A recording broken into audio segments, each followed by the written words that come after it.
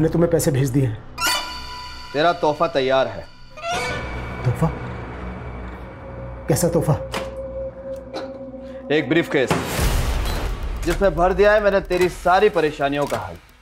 इस briefcase में तेरे सारे खताओं की माफ़ी तेरी और तेरे परिवार की जान बची रहे। इसलिए तुझे बहुत सारी लाशें बिछानी है। क्या बोल रहे हो तुम? तेरी गाड़ी में रखा है तेरा तोहफा। मेरी गाड़ी में? क्या रखा है मेरी गाड़ी में? देखो तुम तुम हर बार ये नहीं कर सकते। देखो मेरी हिम्मत जवाब दे चुके तुम बार बार मेरे साथ ये नहीं कर सकते। मैं पता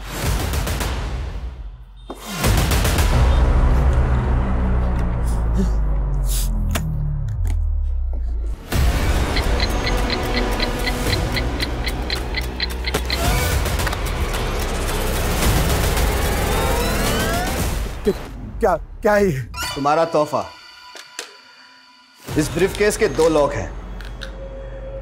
इस लॉक को दोनों को एक साथ खोलते ही तुम्हारा टाइमर चालू हो जाएगा जो कि दो मिनट का है। 120 सेकंड। 120 सेकंड बाद टिक टिक टिक। और अगर तुमने इस बॉम्ब को यानी कि इस ब्रीफ केस को दो मिनट के अंदर बंद कर दिया तो टाइमर भी बंद हो जाएगा। देखो तुम तुम पहले तुम मेरी बात सुनो। जल्दी से जाकर इस ब्रीफ केस को किसी भीड़ भाड़ वाले इलाके में रख दो। वरना देखो अब तक जो कुछ भी काम मैंने किया है लेकिन प्लीज़ मैं मैं मैं ये नहीं कर पाऊँगा। बिल्कुल नहीं। नहीं करेगा। तो तेरी खूबसूरत बीवी और कमसिन बेटी का क्या हाल होगा? पाँच घंटे। सिर्फ़ पाँच घंटे हैं तेरे पास। अगर पाँच बजे तक धमाके की खबर नहीं मिली वरना हेलो? हेलो? हेलो?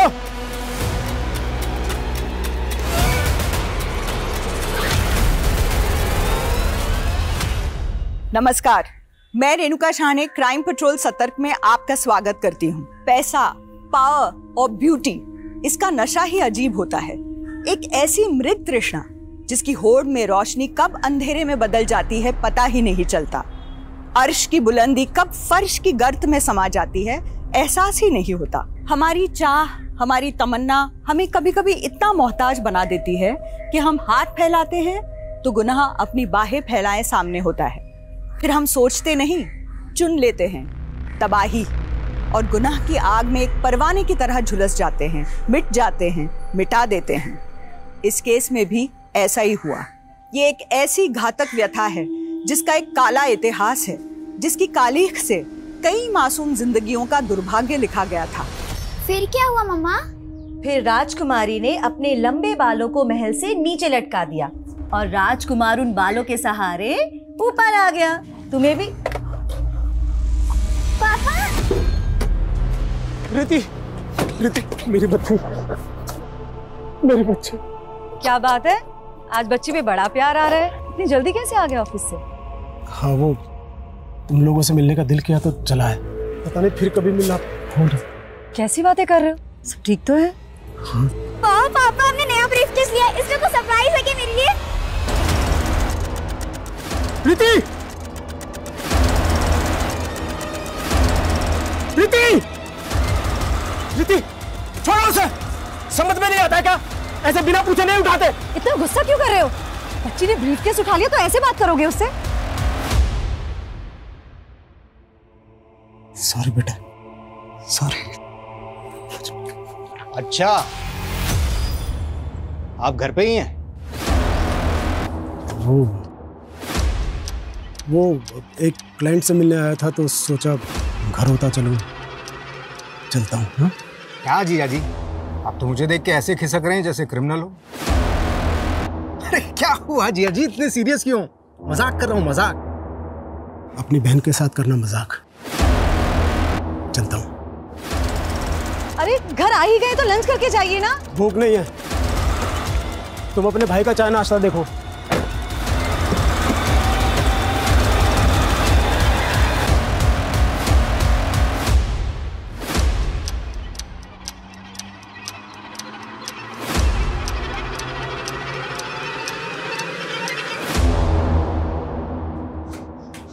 ये लीजिए आपकी चाय। साहब आपकी गरम चाय।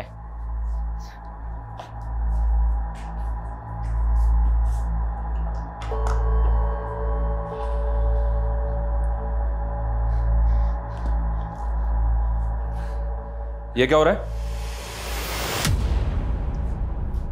ये क्या कर रहे थे? साहब वो साहब आपका दिमाग बहुत बड़ा है ना? इसलिए मैं आपकी कैप पहन रहा था। शायद मेरे पास भी दिमाग आ जाए। पुलिस को मक्खन? मक्खन नहीं साहब चाय। स्पेशल आपके लिए। आपका हाथ सर पे हो तो एक दिन मैं भी पुलिस वाला बनूँगा।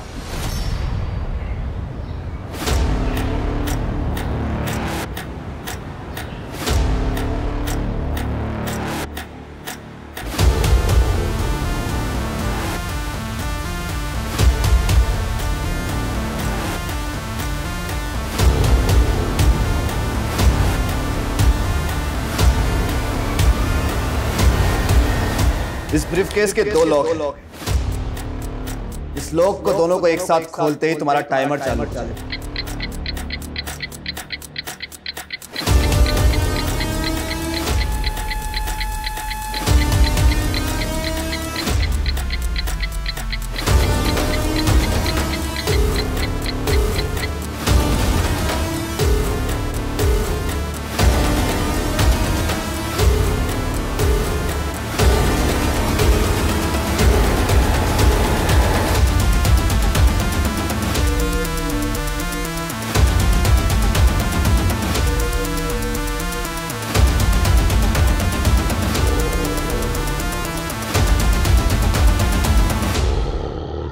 ऐसे कैसे गुम हो गया? जल्दी ढूंढ उसे। हाँ और अपडेट दे मुझे। कुछ तो चल रहा है जतिन के मन में जो वो बता नहीं रहे। ऑफ़िस से जल्दी घर भी आए और शक्ल दिखा के चले गए। अरे कहीं ऐसा तो नहीं कि तुम पे शक कर रहा हो कि बीवी पीछे क्या करती है। अरे जस्ट जोकिंग टेंशन वाली कोई बात नहीं है। सब ठीक हो जाएगा। होप सो वो क्या है ना साहब? इस साल बारिश ठीक से हो भी नहीं पाई। वो बोलते हैं ना ग्लोबल वार्मिंग ग्लोबल वार्मिंग बढ़ रहा है साहब। बहुत गर्मी है साहब। बस इधर ही रोको मुझे यही उतरना। कितने पैसे हुए? सौ रुपये साहब।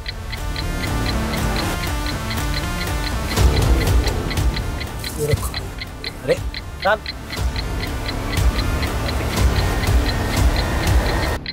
अरे साहब आपका ब्रीफकेस अरे brief-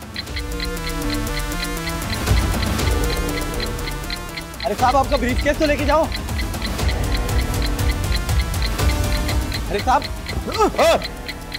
देख के कौन चल सके के? सॉरी साहब अजीब आदमी हो। इतना महँगा ब्रीफकेस आपने ऑटो में छोड़ दिया। इसमें कुछ गड़बड़ तो नहीं? अरे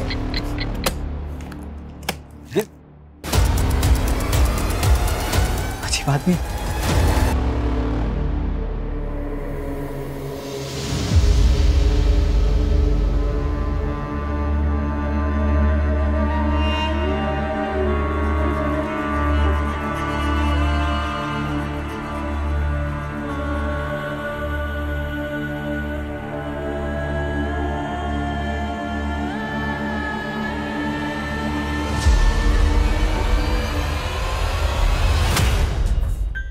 कहीं ऐसा तो नहीं कि मन्ना ने आपको रिश्वत दी और आपने उसे निकलने दिया?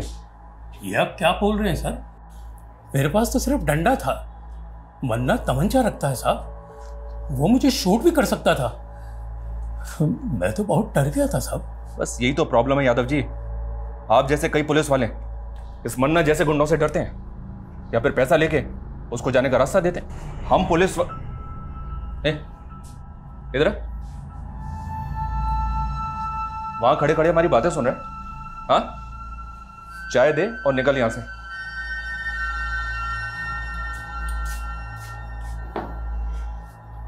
वैसे छोटा मुँह बड़ी बात साहब।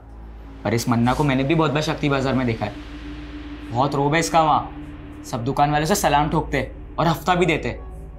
पर पता नहीं क्यों पुलिस इससे डरती है।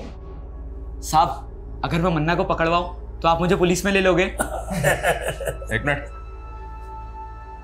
यहाँ पे मज़ाक चल रहा है क्या? चाय रख दी। अभी निकल यहाँ से। चल।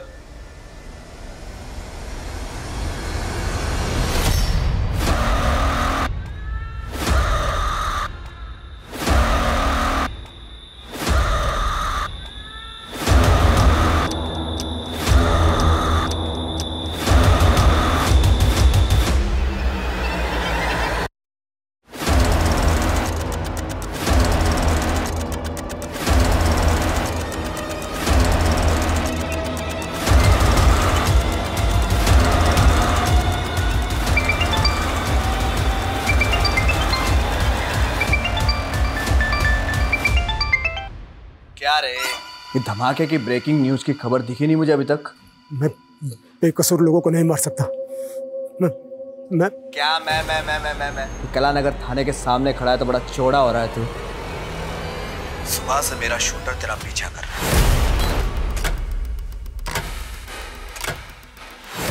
अगर एक कदम और तूने आगे बढ़ाया तो तुझे गोली मार देगा।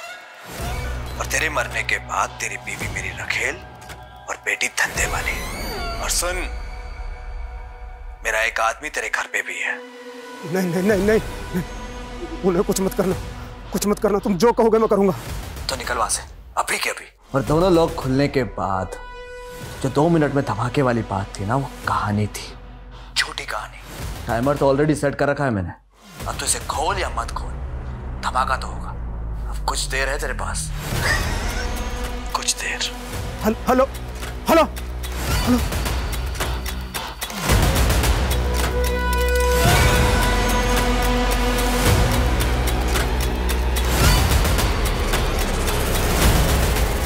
ए, रुक।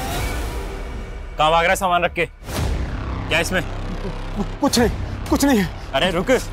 चल बता मेरे को क्या है इसमें? सर सर सर इसके पास मत जाइए। सर इसके पास मत जाइए। सर, सर इसमें बॉम्ब है। आप लोग दूर रहिए दूर रहिए इसमें बॉम्ब है। पीछे हट जाइए। ये किसी भी टाइम फट जाएगा। पीछे हट जाइए। अरे रुक। सर। क्या तमाशा ये? Sir sir sir sir please please गोली मत चलाना। ये ये ये ये कभी भी फट जाएगा इसमें बॉम्ब है। क्या हो रहा है सर। हाँ सर सर आप दूर हटे इसमें बॉम्ब है। पीछे हटो सब। सब पीछे हटो पीछे हटो कौन है तू? किसके लिए काम करता है? किसने भेजा तुझे यहाँ? सर सर सर मैं किसी के लिए काम नहीं करता। मेरा नाम जतिन शेखावत है। मैं एक बिजनेसमैन हूँ सर। सर सर मुझे फंसाया जा रहा है सर। कौन फंसा रहा है तुझे? देख कोई भी कहानी बनाने की ज़रूरत नहीं है। तेरी बातों में नहीं फंसने वाले हम। ये बता अब तक कितने ब्लास्ट किए तूने?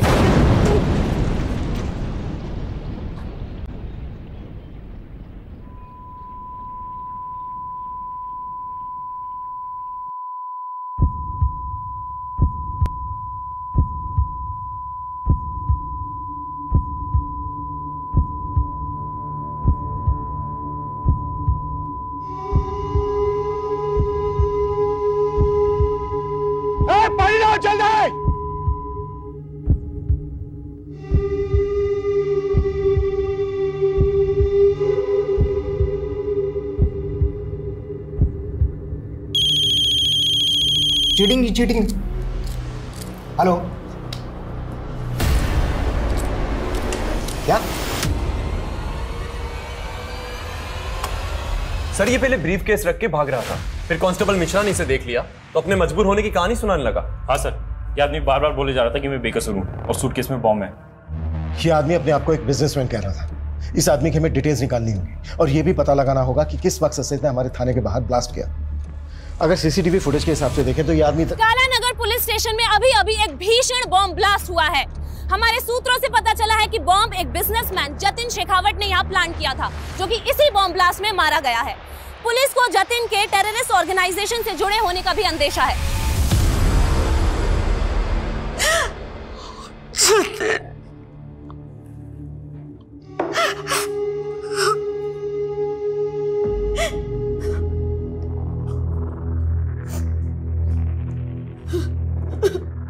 किस टेरर ग्रुप के लिए काम करता था तुम्हारा पति? सर क्या बोल रहे हैं आप? मेरे जीजा जी एक रेपुटेड बिजनेसमैन थे। ज़रूर उनको किसी ने फंसाने की कोशिश की। बॉम्ब लेकर आया था वो यहाँ। देखो हमसे कुछ भी छुपाया ना तो सर मैं खुद एक पुलिस वाला हूँ। यकीन मानिए हम कुछ नहीं छुपा रहे हैं। तो यहाँ बॉम्ब लेकर क्यों आया था? बस इसे बदनाम मत कीजिए मेरे पति को। वो दोपहर से ही बहुत परेशान लग रहे थे। ब्रीफ केस वो उस वक्त उनके पास था। मुझे तभी लगा था कि कुछ तो है जो वो हमें बता नहीं पा रहे। तो वो एक्सप्लोसिव घर से लेकर आया था? नहीं सर वो तो तब ऑफ़िस से आए थे। लेकिन मैं ऑफ़िस हो या घर? सब चेक होगा। अगर हमें बाद में पता चला ना कि तुम अपने पति और तुम अपने जीजा को बचाने की कोशिश कर रहे हो तो तुम दोनों को भी बख्शा नहीं जाएगा।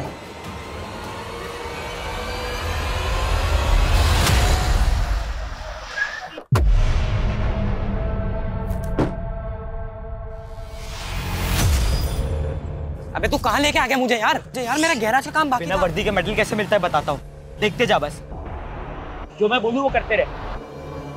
साहब आपका मुर्गा मन्ना यहाँ शक्ति बाज़ार के रॉयल केक शॉप में आप आ जाओ जल्दी।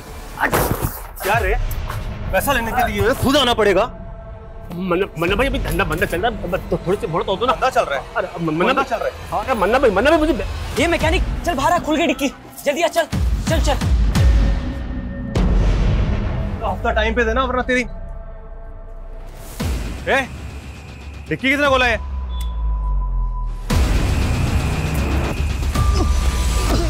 अरे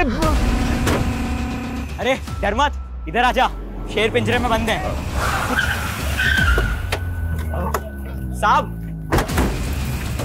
आपको मैंने ही कॉल किया था। आइए आपका मुर्गा मन्ना यहाँ डिक्की में बंद है। मज़ा कर रहे क्या? तूने मन्ना को बंद किया डिक्की में? हाँ साहब। डिक्की खोलो।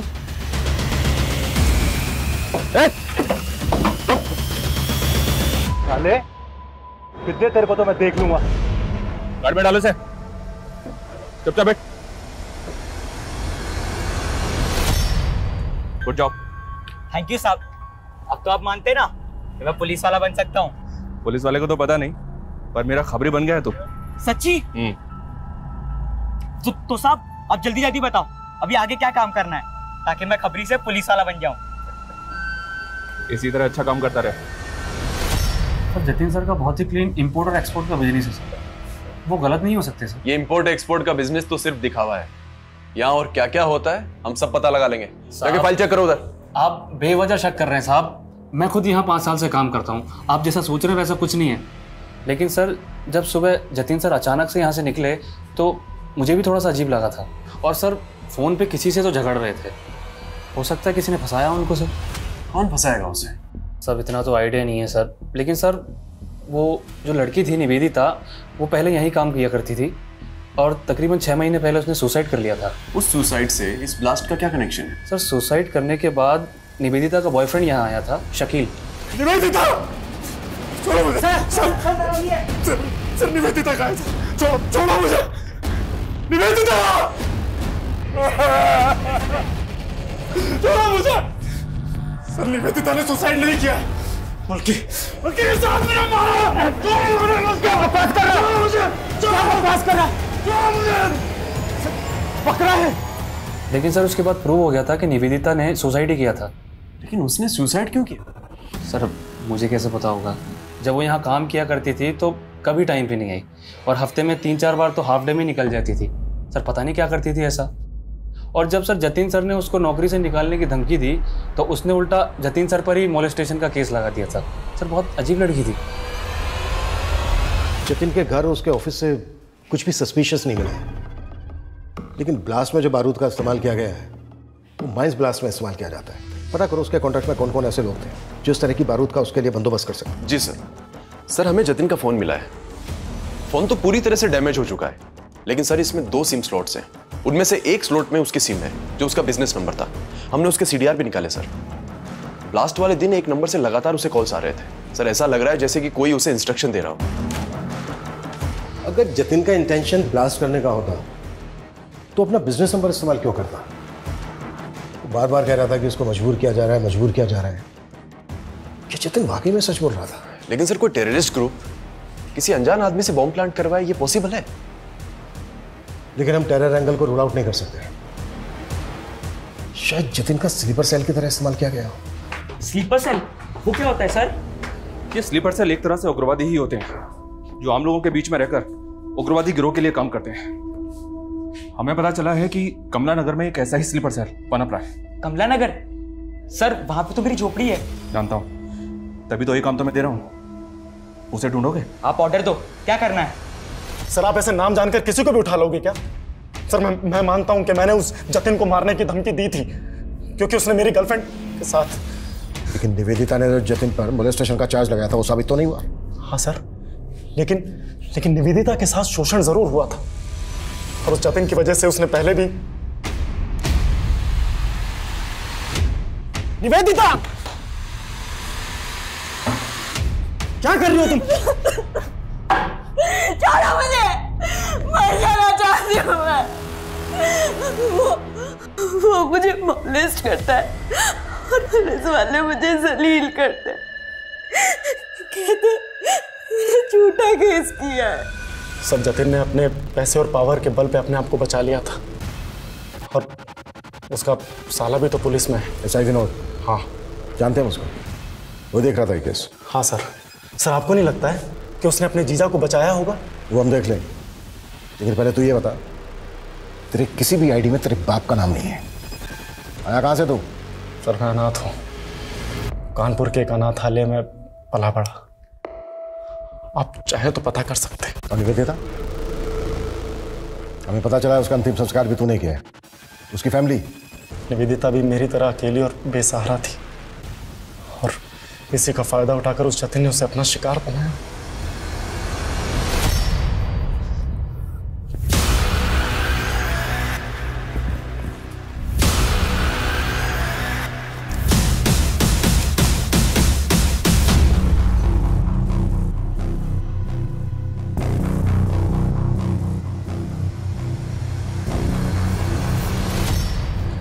भगवान के नाम पे कुछ दे दे बाबा। दो दिन से कुछ नहीं खाया। क्या चचा? इतने हट्टे खट्टे होके भी भीख मांग रहे हो? बेटा पैर में बहुत दर्द रहता है और ज़्यादा देर तक खड़ा भी नहीं रह जाता। अच्छा तो दौड़ाए आपको। ए रुक! ए चोर चोर पकड़ो पकड़ो पकड़ो। ए रुक!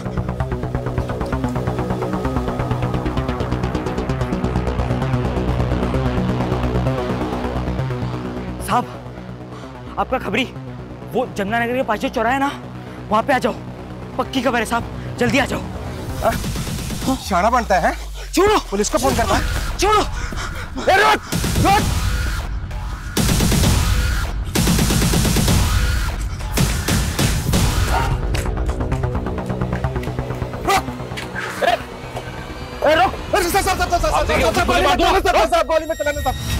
ज़्यादा चालक बनता है हाँ? जस्ता पे नज़र रखता है पकड़ो इसे साहब ये ये आपका स्लीपर सेल ये देखिए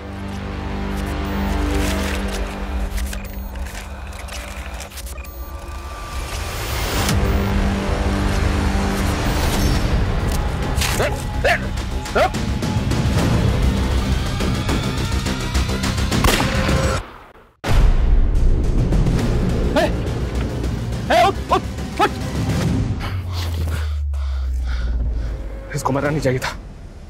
इससे पता करना था कि ये किसके लिए काम करता था। अगर निवेदिता झूठी थी तो उसने जतिन के ऑफ़िस में सुसाइड क्यों किया? क्या फिर वो एक मर्डर था जिसे तुमने सुसाइड साबित किया जैसे निवेदिता के मोलेस्टेशन के चार्ज को किया था? सर मैं अपना काम बहुत ईमानदारी से करता हूँ सर। और मैंने अपने जीजा जी को भी एक सस्पेक्ट की तरीके से इन्वेस्टिगेट किया।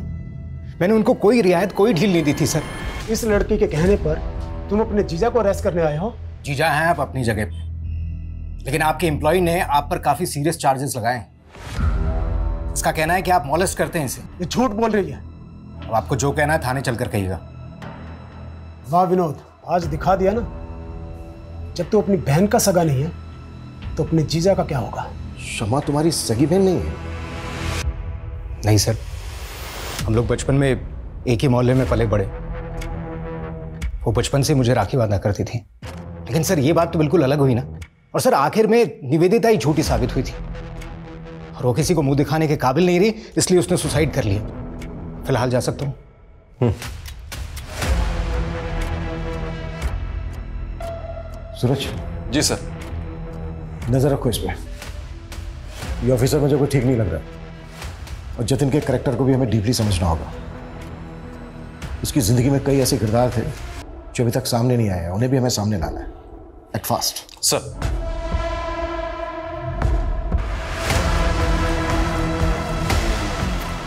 सुबह सुबह क्या मुँह लटका के बैठे हुए हैं आप? और दाढ़ी भी नहीं बनाई अभी तक? आइए पहले नाश्ता कर लीजिए फिर भूख नहीं है मुझे। बिना खाए कहाँ जा रहे हैं आप? जानू में जा रहा हूँ। सुनिए तो।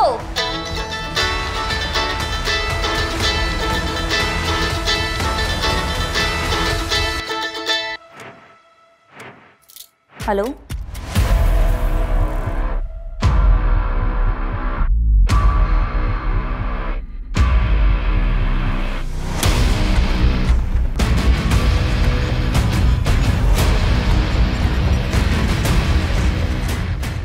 सर मैंने जतिन का बैंक अकाउंट चेक किया तो एक बात बड़ी अजीब लगी। एक लंबे समय से जतिन अपनी कंपनी का पैसा इस तरह के कई अकाउंट्स में भेज रहा है जो उसकी कंपनी से बिल्कुल भी कनेक्टेड नहीं है। हालाँकि सारे ट्रांजैक्शन छोटे छोटे थे लेकिन ओवर द टाइम ये अमाउंट बड़ा बन चुका था सर। और पहला ट्रांजेक्शन तब हुआ था जब जतिन पे मोलिस्टेशन के चार्जेस लगे हुए थे। किसका अकाउंट है किसी शीतल देवी के नाम से अकाउंट है। उम्र लगभग पिछहत्तर साल। पिछहत्तर साल। हो सकता है इन बूढ़ी औरत के नाम से एक फेक अकाउंट खोला गया। जिसमें जमा किया गया पैसा गलत एक्टिविटी में इस्तेमाल होता सूरज एक काम करो। शीतल देवी के अकाउंट की डिटेल्स निकालो। सर निवेदिता और उसके बॉयफ्रेंड के बारे में एक इंपॉर्टेंट बात पता चली। क्या? सर ये दोनों नौ महीने पहले जबलपुर में थे और जबलपुर में निवेदिता पर कई लोगों को पैरामिड स्कीम में फंसा के पैसे गबन करने का इल्ज़ाम है। तो क्या निवेदिता ने जतिन पर मोलिस्टेशन का झूठा चार्ज लगाया था? अगर ऐसा है तो निवेदिता के सुसाइड करने की असली वजह क्या होगी?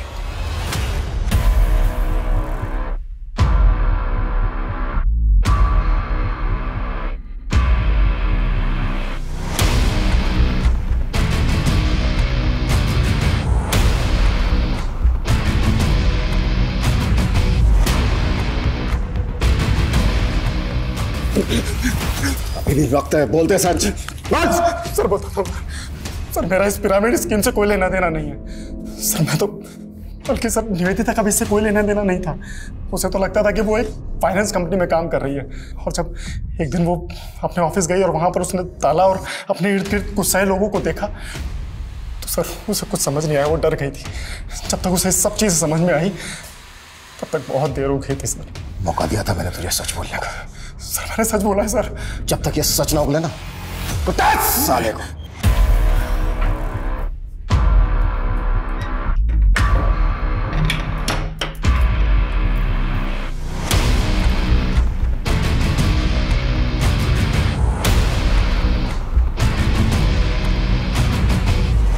अनंत तुमने मुझे डरा दिया था। यहाँ क्यों सो रहे खाना भी नहीं खाया तुमने? तुम्हारा ही इंतज़ार कर रहा था। बहुत लेट कर दिया आज। वो आज काम थोड़ा ज़्यादा था। आई एम सॉरी सब मेरी गलती है। अगर मैंने उन चीटर्स के साथ में पार्टनरशिप नहीं की होती तो शायद आज मेरा ये अनंत दिल छोटा मत करो। सब ठीक हो जाएगा। मैं हूँ ना तुम्हारे साथ।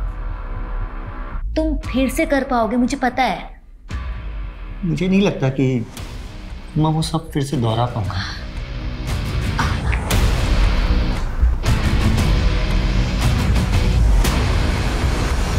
सर जतिन का जो फ़ोन हमें मिला उसमें दो सिम स्लॉट्स थे। एक स्लॉट में उसका करंट नंबर है और दूसरे में जो नंबर मिला उसके सीडीआर में हमें वंशिका नाम की लड़की का नंबर मिला सर। वो नंबर अभी बंद है लेकिन अक्सर वो उसको रात को कॉल किया करता था। तो तुम्हें लग रहा है कि जतिन का वंशिका के साथ अफेयर होगा। लेकिन सर जब वंशिका का सीडीआर निकाला तो उसमें जतिन की वाइफ शमा का नंबर भी मिला।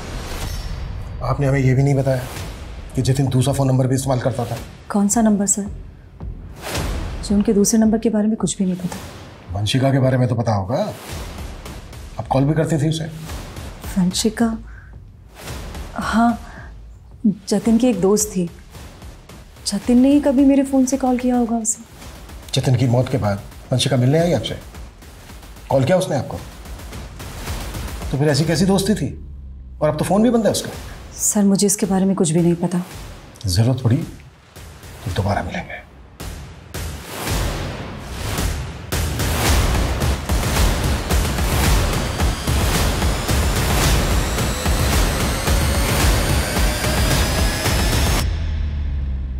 हाँ शमा वो इंस्पेक्टर आया था। उसे वंशिका के बारे में पता चल गया। तू डर मत। कुछ नहीं होगा। सर ये वही शीतल देवी है जिनके अकाउंट में जतिन लगातार पैसे भेजता रहता था। बैंक वालों का कहना है कि इनका एड्रेस बिजनौर का है लेकिन काफ़ी टाइम से ये वहाँ नहीं रह रही। मुझे अभी भी डाउट है कि इस अकाउंट को शीतल देवी ऑपरेट कर रही है या फिर कोई और। सर मैं बाकी डिटेल्स निकलवाता हूँ। सर वंशिका आपसे खुद मिलने आई है। सर आप लोग मेरे पुराने एड्रेस पे गए थे। मेरे एक नेबर से पता चला कि आप लोग मुझे ढूंढ रहे हैं। इसलिए मैं यहाँ आपने अचानक अपना घर बदल लिया। फ़ोन नंबर भी बंद कर दिया। क्यों ऐसा? मैं वहाँ से जाना नहीं चाहती थी। मुझे मजबूर किया गया। किसने मजबूर किया? जतिन के साथ क्या रिश्ता था तुम्हारा? इतने कॉल्स क्यों होते थे तुम दोनों के बीच? सर मैं जतिन को लाइक करने लगी थी। लेकिन वो मेरी मजबूरी का फ़ायदा उठाकर मेरा शोषण कर रहा था। जतिन एक बॉम्ब ब्लास्ट में इन्वॉल्व था। इस गलतफहमी में मत रहना कि तुम्हारी कोई भी कहानी चल जाएगी। नहीं नहीं सर सर सर मैं सच बोल रही हूँ। सर मैंने कुछ नहीं किया इस बारे में मैं कुछ नहीं जानती। सर जतिन ने मेरा वीडियो बनाया और मुझे तब तक इस्तेमाल किया जब तक वो मुझसे बोर नहीं हो गया। और सर मैंने कोशिश भी की थी पुलिस में कंप्लेन करवाने की लेकिन उसकी बीवी और साला दोनों मेरे पीछे पड़ गए थे सर। पहले मुझसे मेरा पति छीना और अब कोर्ट में उसके खिलाफ जाकर मुझसे मेरी इज़्ज़त छीनना चाहती है। देखिए देखिए आप लोग देख लड़की। जो कुछ हुआ उसे भूल जा। मैं खुद पुलिस हूँ। केस करने से कोई फ़ायदा नहीं होगा। सर मैं बहुत डर गई थी। इसलिए मैंने वो जगह ही छोड़ दी और अपना नंबर बंद करके मैं दिल्ली चली गई। फ़िलहाल तुम जा सकती हो। ज़रूरत पड़ी तो फिर बुलाएँगे।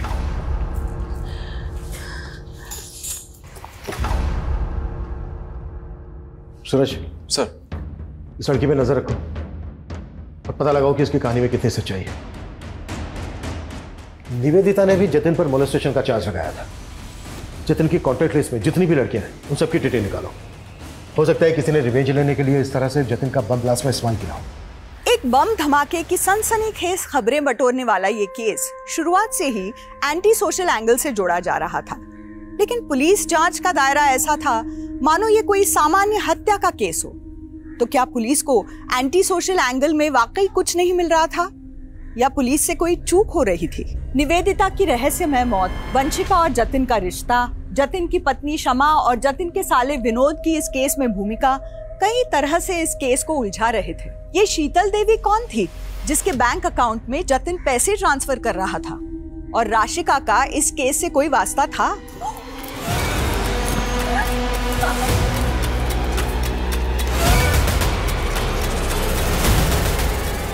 आखिर राशिका का कत्ल किसने और किस मकसद से किया था?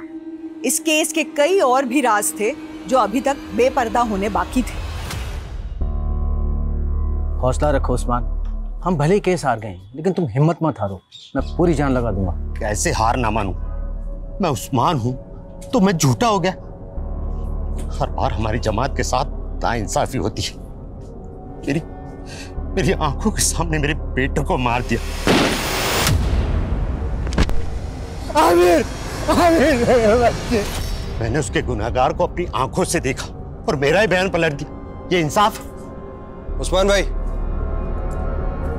देखो मैंने तुम्हारा केस पूरी तरीके से पक्का बनाने की कोशिश की थी लेकिन क्या पक्का केस? आपने तो कहा था कि सारे सबूत उसके खिलाफ। सब सब बेकार हो गए। इतना नाउम्मीद मत हो उस्मान।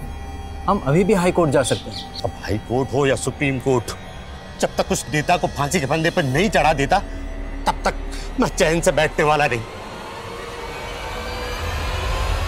ये पोस्टर हर जगह लगा दो। कोई भी जगह छूटनी नहीं चाहिए। इस बार जीत हमारे मनोज भैया की। और बाहुबली तैयारी कैसे चल रही है? राम राम मनोज भैया कृपा है आपकी। जाओ अपना काम करो। मनोज भैया मनोज भैया हमारी तैयारी तो बहुत ज़ोर शोरों से चल रही है। लेकिन ये आपके जो कारनामे है ना कहीं आप कोई हवा ना कर दे। क्या बक रहा है तू? आप टेंशन मत लो। आप ना चुनाव की तैयारी करो। हमें ना आपका पत्ता साफ़ नहीं होने देंगे। आप मेरे जीजा के कातिल को तो पकड़ नहीं पा रहे। उल्टा आप हमें परेशान कर रहे हैं। मैं जितिन के कातिलों से ही तो बात कर रहा हूँ ऐसा ही विनोद। तू और तेरी बहन। कुछ भी बोल रहे हैं आप। जतिन का असली चरित्र हमारे सामने आ गया है। जतिन लड़कियों को अपनी हवस का शिकार बनाता निवेदिता वंशिका गीता स्वीटी बहुत लंबी लिस्ट है। वो लड़कियों के साथ खिलवाड़ करता और तू बचाता उसको। और उसकी आदतों से बाद में तुम दोनों इतना तंग आ गए कि तुम लोगों ने सोचा कि उसी को हटा देते हैं रास्ते से। क्या कहना चाहते हैं आप? कि हमने फोर्स किया उन्हें बॉम्ब रखने के लिए? पर वंशिका को पुलिस कंप्लेंट फ़ाइल ना करने के लिए तो फोर्स किया था ना तुम दोनों ने। देखिए सर मैं मानती हूँ कि मेरे पति रंगीन मिजाज के थे। पर सर इन सब बातों को बॉम्ब ब्लास्ट से जोड़कर आप बहुत बड़ी भूल कर रहे हैं। हम क्या कर रहे हैं? ये हम अच्छी तरह से जानते हैं। तुम दोनों ये बताओ शीतल देवी कौन है? कौन? शीतल देवी। हम नहीं जानते किसी शीतल देवी को। देखिए सुल्तान भाई आपके लिए और पार्टी के लिए बहुत काम किया है मैंने। अब पार्टी ने फैसला करके आपको एमपी की दौड़ के लिए लगा दिया और यहाँ एमएलए का टिकट मनोज भाई को दे दिया। मनोज भाई ने आपकी सारी मेहनत पे पानी फेर दी सब मेहनत खराब कर दी। अगर ये एमएलए का टिकट मुझे मिल जाता ना तो बस। तो अब तू भी नेता बनना चाहता है। अब सुल्तान भाई क्यों नहीं बन सकता मैं? पार्टी के लिए और आपके लिए बहुत काम किया है मैंने। अब देखिए अगर मनोज भाई ने इस सीट से चुनाव लड़ा ना तो पक्का हंड्रेड परसेंट पार्टी की हार होगी। आप कोई ना कोई जुगाड़ करके ये टिकट मुझे दिला दो ना। ये सब इतना आसान नहीं है कौशिक। पार्टी के टिकट भी पैसे में बिकते हैं। छः करोड़ का भाव है एमएलए के टिकट का। औकात है तेरी छः करोड़ देने की।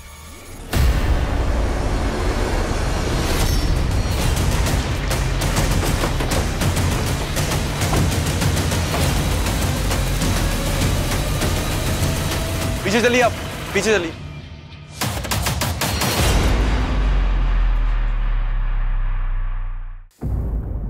सर, उस्मान का मर्डर सिर्फ़ इसलिए हुआ क्योंकि वो अपने बेटे आमिर के मर्डर का इंसाफ चाहता था। और आमिर का मर्डर इसलिए हुआ क्योंकि वो अपनी जमात के लिए एक राजनीतिक संगठन बना रहा था। उसका हत्यारा आने वाला चुनाव लड़ रहा है। उस्मान उसे अंदर करवाना चाहता था और इस पूरे कांड में एक पुलिस वाला उसे घुमा रहा था।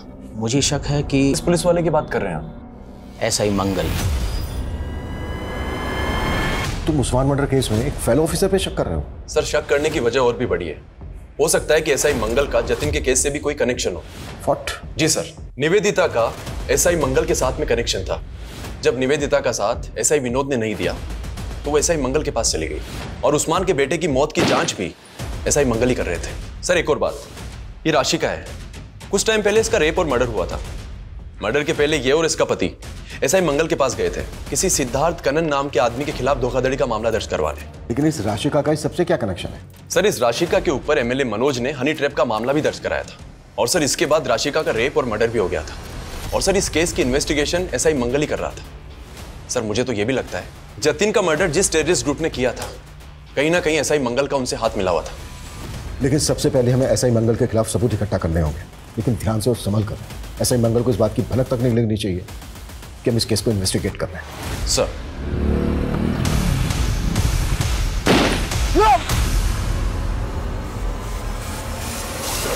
सर मैं एसआई मंगल को इन्वेस्टिगेट कर रहा था। तो मुझे शीतल देवी के साथ उसका कनेक्शन मिला। एसआई मंगल का शीतल देवी के साथ connection ji sir SI Mangal के साथ में एक अनुज नाम का कांस्टेबल काम किया करता था। शीतल देवी उसी अनुज की नानी है। जिसके अकाउंट में जतिन पैसे भेजा करता था। सर आप एक ईमानदार ऑफिसर पर ऐसे संगीन आरोप नहीं लगा सकते हैं। सर मेरा उस ब्लास्ट से कोई लेना देना नहीं है। तेरे साथ काम करने वाले कांस्टेबल अनुज से मिले शीतल देवी जिसकी नानी है। वो अपनी नौकरी और इज़्ज़त बचाने के लिए सरकारी गवाह बनने के लिए तैयार हो गया है। और उसकी नानी भी गवाही देंगी कि उनके अकाउंट को तू सर मैं सच कह रहा हूँ सर। मेरा उस ब्लास्ट से कोई लेना देना नहीं है सर। सर मैं सिर्फ़ और सिर्फ़ एक कठपुतली था सर। मुझ पर प्रेशर था एक करोड़ रुपए इकट्ठा करने का वरना वरना मेरी जान चली जाती सर। साफ़ साफ़ बोल। सर जब निवेदिता मुझसे हेल्प मांगने के लिए आई तो तो उसने मुझे एक वीडियो दिखाया। उस वीडियो में जतिन और निवेदिता बिस्तर पर साथ थे। मुझे लगा कि वो वो वीडियो एक बहुत अच्छा साधन हो सकता है जतिन से पैसे उगाही करने का। उस बेसहारा लड़की को तूने इतना अब्यूज किया कि खुदकुशी कर ली उसने। राशिका और उस्मान को भी तू नहीं और वो जतिन उसको भी बमब्लास में तू नहीं नहीं सर। सर सर मैं सिर्फ़ और सिर्फ़ एक कठपुतली था सर। तो कठपुतली ये बोल तेरी डोर किसके हाथ में है? बोल पिताजी आप भी कैसी बातें करते हैं? आपका हुक्म मैं कैसे डाल सकता हूँ? अरे आप जिसको बोलेंगे मैं उसको अंदर डाल दूँगा। लीजिए आपकी चाय आ गई। लीजिए चाय पीजिए। जाओ। देखिए ऐसी कोई बात नहीं है। आप बिल्कुल बेफिक्र रहिए आप चाय का आनंद लीजिए। प्रताप सर तो पुलिस है। तो ये अंदर कौन उनकी कुर्सी पे? वो नेताजी हैं। नेता पुलिस से बड़े होते हैं। पुलिस इनके इर्द गिर्द घूमती है। अच्छा फिर तो मुझे पुलिस नहीं नेता बनना है। हमारे विधानसभा क्षेत्र में इतना प्रचार प्रसार करो कि सभी के ज़ुबान पर सिर्फ़ हमारा नाम होना चाहिए। कौशिक भैया! जिंदाबाद! कौशिक भैया! जिंदाबाद!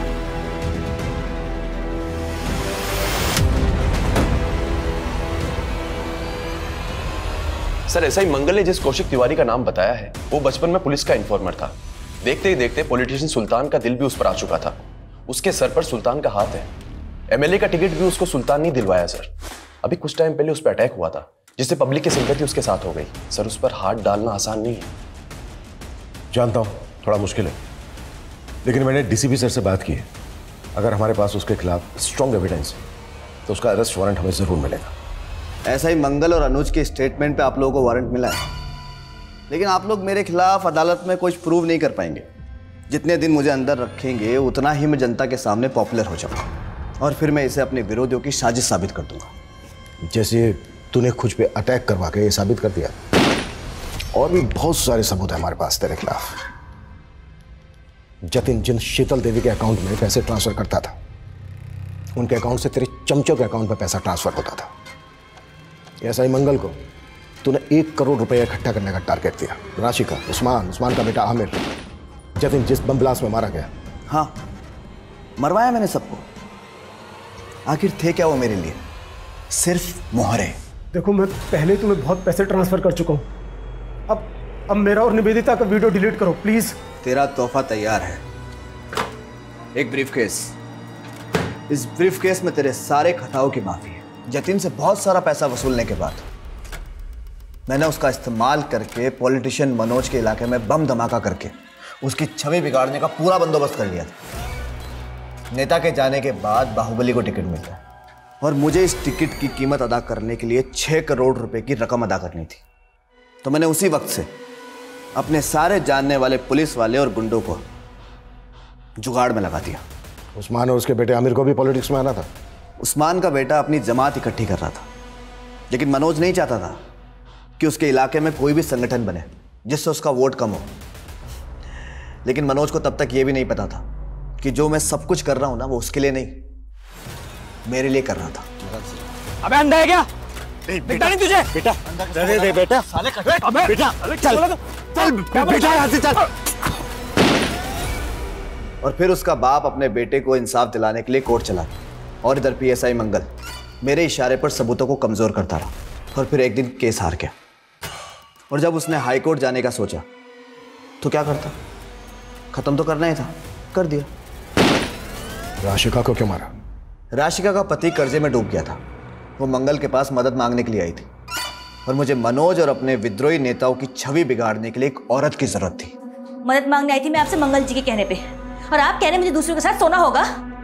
हाँ सोना होगा। इस सीट पर खड़े होने वाले सारे नेताओं के राज मुझे लाकर देने होंगे। मैं अपने खिलाफ कोई भी कमज़ोर कड़ी ज़िंदा नहीं छोड़ना चाहता था। इसलिए राशिका को भी मार दिया। टीनेजर कौशिक में जो जज्बा था, वो जज्बा उस उम्र में होना काबिल तारीफ़ है। लेकिन बड़े सपनों की राह में गुमराह अंधेरों के पड़ाव भी मिलते हैं। वहाँ जब कोई हाथ पकड़ के सुधारने वाला नहीं होता तो लोग अक्सर जुगनुओं की चमक को भी कामयाबी का सूरज समझ बैठते हैं। और वो सुबह कभी नहीं आती, जिसकी चाह में लोग अपना सब कुछ खो चुके होते हैं। और जब आँखें खुलती हैं तो एहसास होता है कि जिस सपने को हमने पल पल जिया था, वो सपना एक गुल्लक की तरह टूट गया। और जिसे हम छोटी छोटी खुशियों के सिक्के समझ के जोड़ रहे थे, असल में वो हमारे गुनाहों का सरमाया था, जिसका कर्ज उतारने के लिए ताउम्र पल पल सलाखों के पीछे काटना होगा। इसी के साथ अब मैं रेणुका शाह आपसे विदा लेती हूँ। हम फिर मिलेंगे ऐसी एक कहानी के साथ जो रखेगी आपको सतर्क और ज़िंदगी को सुरक्षित। तब तक अपना और अपने परिवार का ख्याल रखिए और देखते रहिए क्राइम पेट्रोल सतर्क। Jai Hind. For more update subscribe to our channel click the show links and enjoy watching videos.